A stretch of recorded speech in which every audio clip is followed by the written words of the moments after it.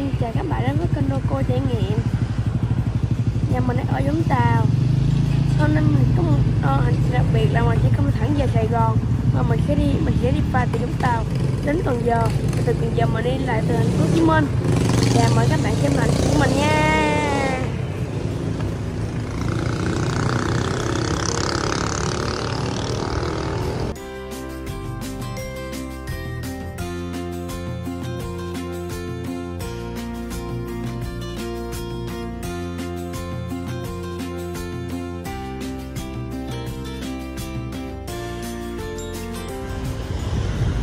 Từ hướng Cần Giờ qua đã cập bến rồi nè.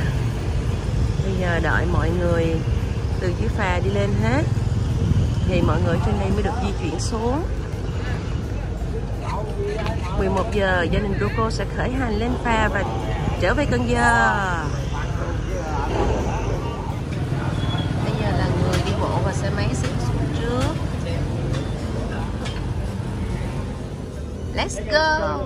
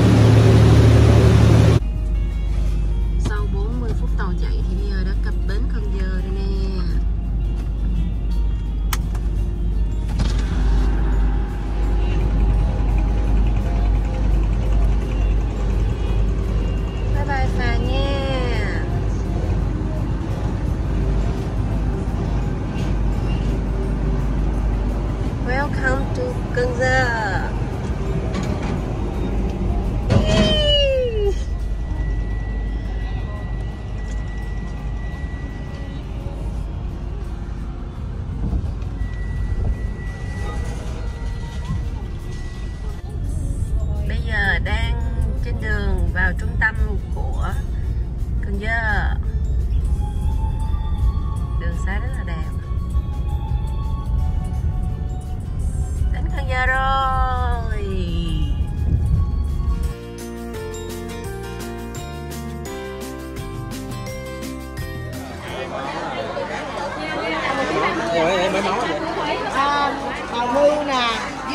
Đây là quán mà gia đình nhà Rocco hay ăn mỗi khi ghé Cần Giờ.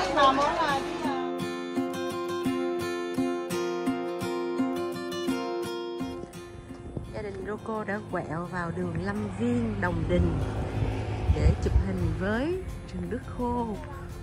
Một điểm chụp hình rất nổi tiếng ở Cần Giờ. Có rất nhiều góc sống ảo. Đây, chỉ những cây đứa như vậy thôi mà chụp hình lên cực đẹp nha.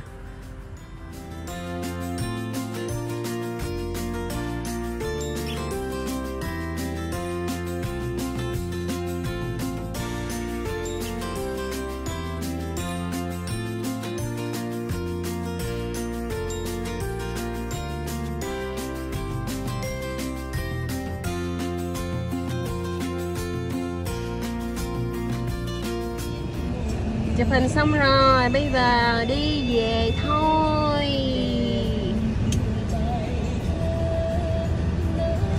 À, cây đước đang ra trái quá trời luôn đó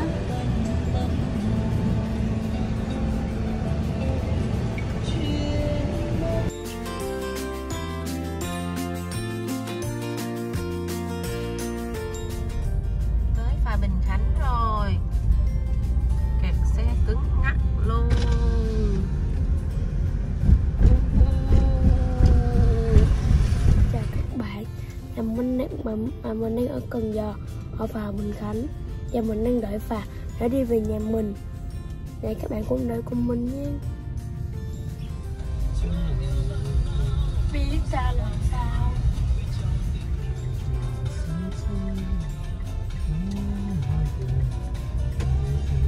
Lên phà đi về thôi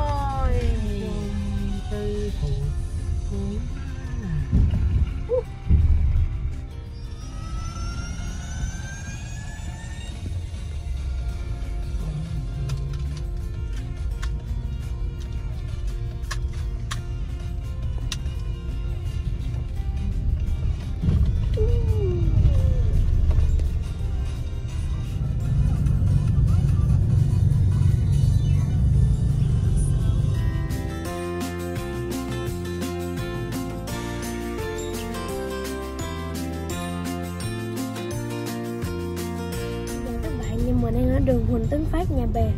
Cảm ơn các bạn đã đã ờ, xem hành trình từ Vũng Tàu đến phố Hồ Chí Minh qua bến phà Cần Giờ.